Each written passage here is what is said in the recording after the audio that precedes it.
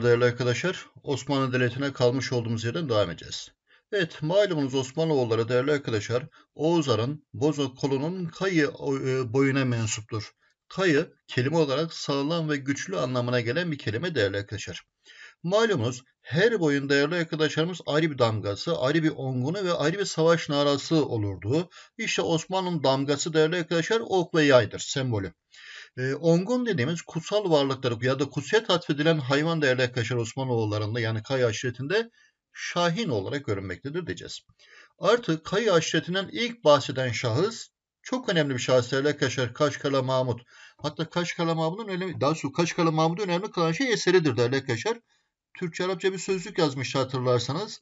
E, Türk Dünya haritasında bu sözlük eserine yerleştirmişti Kaşkala Mahmut. Yazdığı bu eserin ismi Divanı Lügatu Türk değerli arkadaşlar. Türkçe Arapça bir sözlük olarak karşıma çıkar eser. Evet kayılar değerli arkadaşlarımız öncelikle Moğol baskısı zulmünden kaçarak Bitlis Ahlat bölgesine yerleştiler. Ahlat değerli arkadaşlar İslam dünyasında Kubbetül İslam olarak adlandırılmıştır. Önemli şeylerden bir tanesidir. Hani İslam dünyasında önemli alemler yetiştirdiğinden dolayı. Hatta şunu söyleyelim. Kubbetül İslam namına sahip diğer iki farklı şehrimiz de var. Dünyada değerli arkadaşlar İslam dünyasında. İşte bunlardan bir tanesi Afganistan'ın Bel şehri. Diğer ise Özbekistan ülkesinde değerli arkadaşlar Buhara şehri. Yani Bel, Buhara ve Ahlat. İslam dünyasını yetiştirmiş olduğu alimlerden dolayı Kubbetül İslam olarak adlandırılmıştır diyeceğiz. Evet, Kayılar önce Bitlis Ahlat bölgesine yerleştirilen bahsetmiştik. Daha sonra Alaaddin Keykubat tarafından değerli arkadaşlarımız Ankara Karacadağ bölgesine geliyorlar. Daha sonra ise Bizans bölgesine uç bey olarak Söğüt Domaniç bölgesine yerleştirilmişlerdir. Söğüt Domaniç bölgesine geldiklerinde Osmanlıların Darusu Kayı aşiretinin başına değerli arkadaşlar Ertuğrul Bey vardır. 400 çadırlık bir aşiret olduğu rivayet edilir bu dönemde Osmanoğullarının değerli arkadaşlar yani Kayıların. Evet Kayılar bu e, Söğüt Domaniç bölgesine geldiğinde değerli arkadaşlar ilk dönemlerde e, uç beyi olarak Kastamonu, şey, Kastamonu bölgesine yer alan Çobanoğlu Beyliğine bağlı olarak hareket etmişlerdir diyeceğiz. Yani Çobanoğullarına bağlı bir uç beydir Ertuğrul Bey değerli arkadaşlar. Evet Osmanlılar değerli arkadaşlar 623 yıllık bir tarih. Tek bir hanedanın uzun süre yani en uzun süre yönetim sürmüş olduğu bir devlet.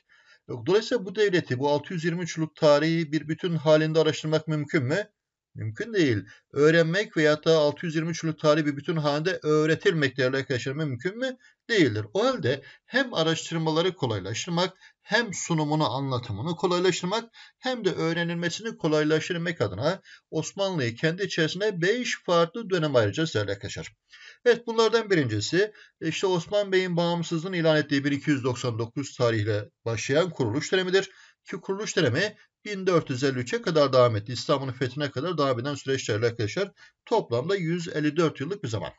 E, bu dönemde değerli arkadaşlar işte Osmanlı'dır, Orhan'dır, işte Yıldırım Beyazıt'tır, ne bileyim 1. Mehmet Çelebi'dir, 2. Murat'tır veyahut da 2. Mehmet değerli arkadaşlar e, fetihçi bir anlayışla hareket ettiler. Yani sınırlarını genişlettiler. Sınırların genişlemesi doğal olarak kurumsallaşma faaliyetlerinin devam etmesi veyahut da ortaya çıkması anlamına gelir değerli arkadaşlar. Kurumsallaşma faaliyetlerinin özellikle yoğun şekilde kuruluş döneminde gerçekleştiğini söyleyebiliriz. Evet diğer bir dönem değerli arkadaşlar 1453 İstanbul'un fethiyle başlayıp 3 hükümdara sadrazamlık yapan şahsın vefatı 1579 yılında suikaste kurban giden bir sadrazam değerli arkadaşlar. Bosna'nın Sokoloviç köyünde dünyaya gelen Sokullu Mehmet'in ölümü değerli arkadaşlar. Dolayısıyla bu 126 yıllık zaman dilimi de yükselme dönemi olarak adlandırılır. İşte Fatihlerin, 2. Beyazıtların, Yavuzların, Süleymanların yaşadığı dönem değerli arkadaşlar. Etkin şekilde sınırlar, sınırları genişletme faaliyetinin yani fetihçi anlayışın var olduğunu söyleyebiliriz. Sınırları genişleme faaliyetine bağlı olarak kurumsallaşma faaliyetleri artarak devam etmiştir değerli arkadaşlar. Evet, Sokulunlu vefatı üzerine değerli arkadaşlar 1579 yılında başlayıp 1699 e, yılına kadar süren bir dönem. Yani 98 yıllık dönemde değil mi? 98 değil pardon. 120 yıllık zaman. 120 yıllık dönem değerli arkadaşlar duraklama dönemi. 1699 neyin tarihi dersek değerli arkadaşlarımız? Han Osmanlı ilk defa büyük çapta toprak kaybetti değerli arkadaşlar. E, hatta bir ittifak anlaşmasıyla büyük çapta toprak kaybetti Osmanlı Kutsal İttifak Savaşları sonrasında. Karlofça Anlaşması. Karlofça Anlaşması'na biten dönem değerli arkadaşlar 120 yıllık dönem. İşte bu dönem değerli arkadaşlar özellikle hem askeri alanda hem mali hem de devlet otoritesinde, merkezi otoritede çok ciddi sıkıntıların yaşandığı dönemdir. Dolayısıyla devlet kurumlarında problemler var. O halde ıslahat yapılacak mı bu dönemde değerli arkadaşlar? Evet, ıslahat demek değerli arkadaşlar bozulan bir kurumun bozulan tarafına tamirata giderek o kurumu kullanmaya devam etmektir. Yani şöyle düşünün, mesela sizin bir arabanız var, hacı doğanınız var. Hacı doğan habire arıza veriyor. Arızayı giderebilmek adına sanayiye götürüp tamir ettiriyorsunuz. O arabayı kullanmaya devam ediyorsunuz. Bu bir ıslahattır. Ancak günün birinde o arabayı satıp daha üst model bir araba alıyorsanız bu bir inkılaptır değerli arkadaşlar köktenci değişiklik anlamında. Osmanlı'nın yaptığı şeyler bu değişiklikler ıslahat olarak değerlendirilir ve Mustafa Kemal'in şahsında değerli arkadaşlar Türk toplumunun e, Kurtuluş Savaşı sonrasında gerçekleşmiş olduğu köklü değişimlere biz inkılap diyeceğiz. İşte Osmanlılar ilk defa kurumlarda sıkıntıların yaşanmasına paralel olarak duraklama döneminde ıslahatları gerçekleştirdi değerli arkadaşlar. Hatta Osmanlı'da ilk ıslahat gerçekleştiren padişah kimdir dersek, hani 18 yaşına tahttan indirilip Yedikule zindanına katledilen bir padişahımız var ya 18 yaşında. Genç Osman değerli arkadaşlar. Genç Osman Osmanlı'daki ilk ıslahat, e, ıslahatçı ve ilk ıslahat şehidi olarak karşıma çıkar diyeceğim. Önemlidir. E, ve bu dönemin ıslahatlarına değerli arkadaşlar biz Fatihleri, Süleymanları yani yükseme dönemini örnek alarak gerçekleştirdik. Ama maalesef arzu edilen başarı gerçekleştiremeden dolayı değerli arkadaşlar duraklamadan sonra gerileme yani toprak kayıplarının yoğun bir şekilde başlamış olduğu dönem değerli arkadaşlar gerileme dönemi başlayacaktır. Gerileme dönemi dediğimiz dönem değerli arkadaşlar 1699 Karlofça Anlaşması ile başlar. 1792 çok meşhur bir anlaşma değerli arkadaşlar. Osmanlı ilk defa Müslüman Türk toprak parçası olan Kırım'ı kaybetti yaş anlaşması değerli arkadaşlar. Dolayısıyla Osmanlı artık e, Müslümanların dahi çoğunlukta bulunduğu bölgeyi koruyamayacak durumda olduğu ortaya çıkınca gerileme bitecek. Damat çözülme süreci başlayacaktır değerli arkadaşlar. Gerileme döneminde toprak kayıpları var değerli arkadaşlar. Toprak kayıplarının artarak maalesef devam etmesi, Osmanlı'nın yükseme dönemini örnek alarak yaptığı ıslahatlarda artık batıyı örnek alarak ıslahat yapmasını ortam hazırlayacaktır. Hatta Osmanlı'da ilk batılı ıslahatları bu dönemde başladı. Osmanlı'nın batıya açılan penceresi veya Osmanlı'da ilk kez batılı tarzda ıslahatların yapıldığı dönem vardı değerli arkadaşlarımız. 3. Ahmet, Sultanımız 3. Ahmet, Sadrazam Nevşehirli Damat İbrahim'in e, dönemi değerli arkadaşlar. Lale devri. Lale devriyle ilk defa batılı tarzı ıslahatlar gerçekleştirildi. Ancak bu batılı tarzı ıslahatlar maalesef özellikle kapı kullarımızın yani Yeniçerilerimizin, Yeniçerilerimizin tepkisinden dolayı başarısızlıkla sonuçlanacak ve maalesef toprak kayıpları artarak devam edecek değerli arkadaşlar. Ve ilk defa bu dönemde devlet yaşar. Avrupa karşısında biz aciziyet içerisinde yaşayacağız, aciziyete düşeceğiz. Dolayısıyla Avrupa devletleriyle ikili iyi ilişkileri gerçekleştirmek adına devletler arası ilişkiler yani diplomasi, diplomasi ön plana çıktı diyeceğiz değerli arkadaşlar.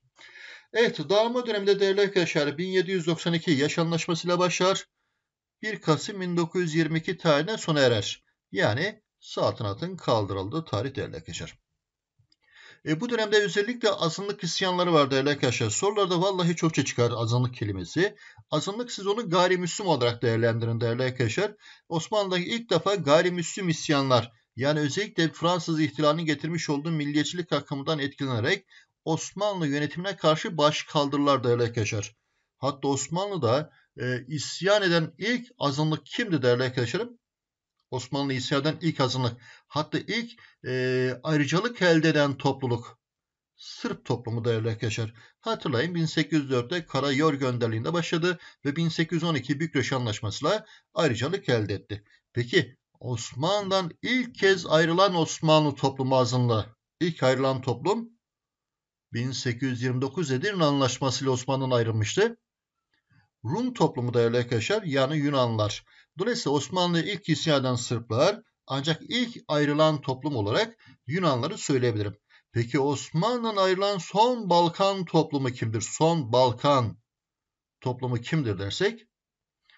Balkan Savaşı esnasında, birinci, birinci Balkan Savaşı esnasında değerli arkadaşlar, Osmanlı'da yaşanan sıkıntılardan istifade ederek bağımsızlığını ilan eden, halkının %45 küsürü Müslüman olan toplum, Balkan toplumu.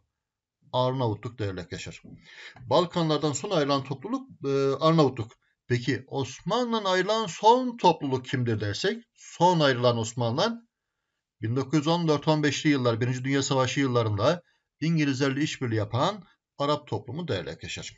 O halde ilk isyan eden Rumlar, özem ilk isyan eden Sırplar, ilk ayrılan Rumlar, son ayrılan Balkan toplumu Arnavut, Osmanlı'dan ayrılan son toplum olarak Arap toplumunu söyleyebilirim değerli arkadaşlar. Evet dağılma döneminde değerli arkadaşlar biz yönetim, demokrasi, hukuk, eğitim yani aklınıza hangi alan gelir değerli arkadaşlar her alanda saat yaptık. Askeri ekonomi de dahil olmak üzere. E, dolayısıyla bu yapmış olduğumuz saatler maalesef çözüm olmadı değerli arkadaşlar. Ve Osmanlı tarihin tozu raflarına maalesef gitmek durumunda kaldı diyeceğiz. Evet, evet bundan sonraki bugünkü dersimiz bu kadar değerli arkadaşlar. Bundan sonraki dersimizde inşallah padişahlar döneminden bahsedeceğiz. Evet, hoş kalın, hoşça kalın değerli arkadaşlarımız. Bir sonraki dersimizde görüşmek temennisiyle.